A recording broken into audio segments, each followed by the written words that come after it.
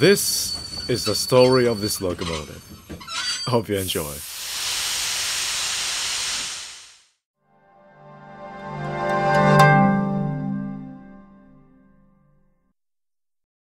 Early in the 1900s, steam locomotives were the king of the railways in Japan. Many majestic iron horses worked hard night and day, and they were the symbol of the modernization.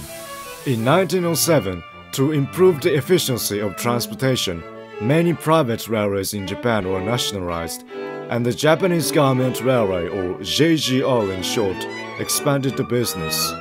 As the travel demand got increased at that time, the new nationalized railway focused on building practical passenger locomotives. Ever since the first steam locomotive, Class 860, was entirely built in Japan in 1893, many types of engines had produced domestically. Still, most of them were just mere copies of British or American predecessors. As the Japanese locomotive engineering skill was still in its infancy at that time, JGR was desperate to build a world-class standard locomotive to provide efficient passenger services. The first passenger locomotive, Class 6700, was built entirely domestically in 1909. With a 5 feet and 3 inch diameter driving wheels, the steam engine had a decent tractive effort however, it was still not ideal for pulling the passenger service on the main line. Later in 1911, one of the pivotal moments in Japanese railway history came. JGR imported 20 number of Class 8800 large passenger locomotives from Germany. They were allocated to the mainland express service from Tokyo to Shimonoseki, and the people were marveled at the attractive performance of the German locomotive. The success of the imported locomotives gave a huge inspiration to the Japanese railwaymen, Tsuda Yasuo and Ikemura Tomizaburo, the locomotive superintendents of the JGR at that time, designed an innovative 260 locomotive. With incorporating the size of driving wheels and cylinders of Class 8800, Class 8620 was born. The leading wheel of the locomotive was partially designed by Shima Yasujiro, whose son Shima Hideo supported the high-speed train project in the 1960s, but that will be another story. The prototype of the class emerged from the workshop in May 1914, and 18 of them were built in the same year. Most of the new Class 8620 locomotives were allocated to the express duty on the main line and reached 45 miles per hour top speed.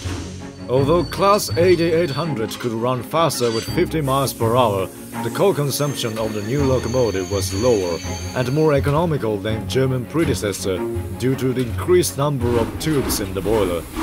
While the locomotive was initially intended to pull the mainline express services, due to its practicality, some of them were also allocated to the suburban passenger trains.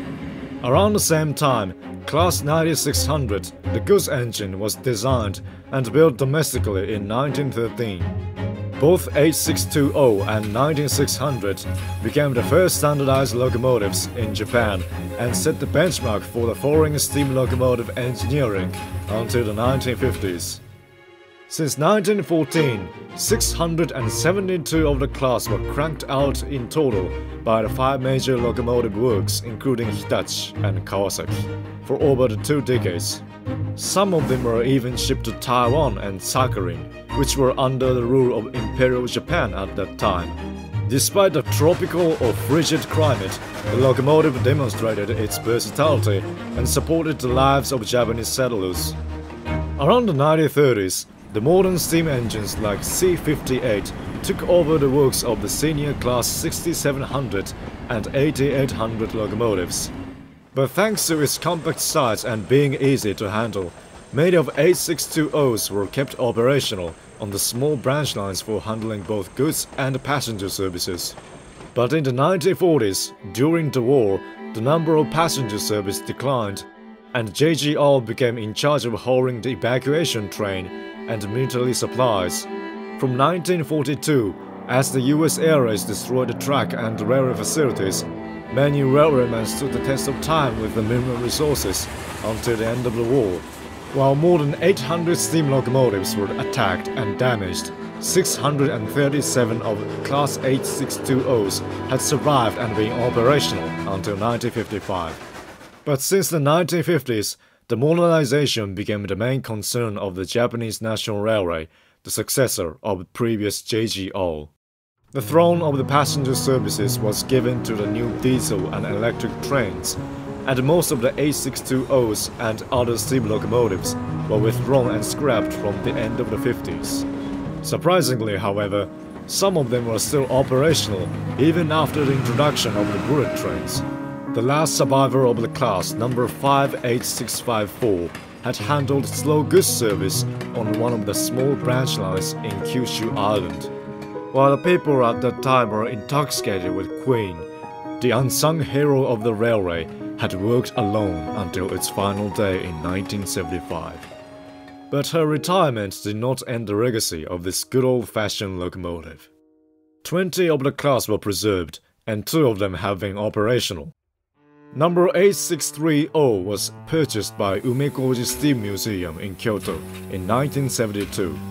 Ever since she came to the museum, the locomotive has experienced several overhauls and pulled a train on the museum's demonstration line among other preserved steam engines. Another operational 8620 is 58654, the last survivor of its kind, which was saved from scrap by the small group of railway enthusiasts. After the privatization of JNR in 1987, JR Kyushu inherited the steam locomotive, and her overhaul was commenced in the same year. However, the huge obstacle was the locomotive's corrupted boiler. To bring the old iron horse back to life, Nippon Steel managed to replicate her boiler from scratch. This was such a great feat because only a few workshops in the world so far can manufacture a real steam locomotive boiler. With her brand new boiler and cab, the locomotive returned on track in 1988. 58654 was given three special coaches and delegated to build Asoboy Express, the mainline steam excursion train in Kyushu Island. She occasionally wore a dark green livery to look like a fancy British steam engine and became one of the iconic preserved steam locomotives in Japan. 58654 was sadly withdrawn from service in 2005 due to the corrosion of its frame. The incipient locomotive was never thought to return but the workshop managed to replicate her new frame from scratch in 2007. With its boiler and tender got refurbished, 58654 returned to the main line in 2009. Since then, the Garant locomotive has in charge of Hitoyoshi the excursion train for over a decade. In 2020, the film of Demon Slayer featured one of the Class 8620s, and in the same year, 58654 on a special train with a new headboard, resembling the locomotive in the movie. The crowd gathered along the line side to see the running of the almost 100 years old locomotive, the survivor against all odds. The age of steam has gone in Japan, but the ethos of the golden age of the railway still lives on.